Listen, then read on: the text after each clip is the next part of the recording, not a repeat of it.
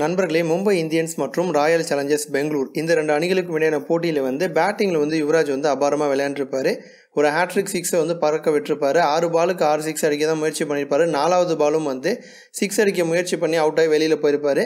So batting வந்து ரசிகர்களுக்கு வந்து சந்தோஷத்தை கொடுத்துருந்தாலுமே கூட யுவராஜுடைய ஃபீல்டிங் பார்த்தீங்க அப்படின்னா அவருடைய ரசிகர்களுக்கும் மும்பை இந்தியன்ஸ் ரசிகர்களுக்கும் பெரிய ஒரு வருத்தத்தை வந்து ஏற்படுத்தியிருக்கு.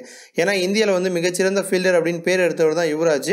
அப்படி பார்த்தா யுவராஜ் பார்த்தீங்க அப்படின்னா ஒரு கேட்சை வந்து தவற விட்டுருக்காரு. ரொம்ப ரொம்ப முக்கியமான ஒரு கேட்ச் அப்படின்னே சொல்லலாம். மும்பை அணி வந்து பால் போடுறப்ப ஏழாவது ஓவரை பார்த்தீங்க அப்படின்னா மார்க்கண்டே வந்து பால் போட்டார்.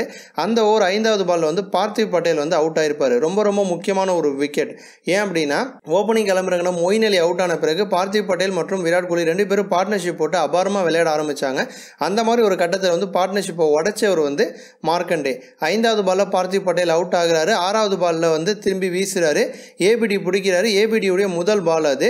ஸ்லிப்பில் வந்து யுவராஜ் நிற்கிறாரு சூப்பராக ஒரு கேட்ச் வந்துச்சு. அந்த கேட்ச் வந்து யுவராஜ் வந்து தவற விட்டுருப்பாரு. அது வந்து பெரிய ஒரு விமர்சனத்தை வந்து ஏற்படுத்தியிருக்கு. ஏன்னா வந்து ஏபிடி மாதிரி மேட்சை மாற்றக்கூடிய ஒரு பிளேயருக்கு வந்து ஒரு கேட்சை மிஸ் பண்ணோம் அப்படின்னா கண்டிப்பாக அது எந்த மாதிரியான மோசமான விலை வந்து ஏற்படுத்தும் அப்படின்னு ரசிகர்கள் உட்பட எல்லாருக்குமே வந்து தெரிஞ்ச ஒரு விஷயம் தான் ஸோ வந்து முக்கியமான ஒரு கேட்சை வந்து யுவராஜ் தவற விட்டது அவருடைய ரசிகர்களுக்கு வந்து பெரிய ஒரு வருத்தத்தை வந்து ஏற்படுத்தியிருக்கு. அதன் பிறகு பார்த்தீங்க அப்படின்னா யுவராஜ் வந்து ஸ்லிப்லேருந்து தூக்கிட்டு ரோஹித் சர்மா வந்து ஸ்லிப்பில் வந்து நிற்க ஆரம்பிச்சிருப்பாரு.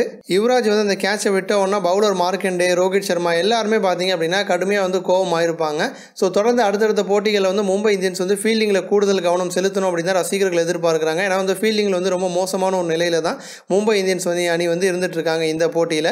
இது போன்ற இன்னும் பல ஸ்போர்ட்ஸ் செய்திகளை தெரிஞ்சுக்க ரெட் கலர் பாக்ஸை கிளிக் பண்ணி நம்ம சேனலை வந்து சப்ஸ்கிரைப் பண்ணுங்கள் கூடவே பக்கத்தில் இருக்க பெல் சிம்பிளையும் கிளிக் பண்ணி எங்களுடைய அப்டேட் செய்திகளை உடனுக்குடன் தெரிஞ்சுக்கோங்க.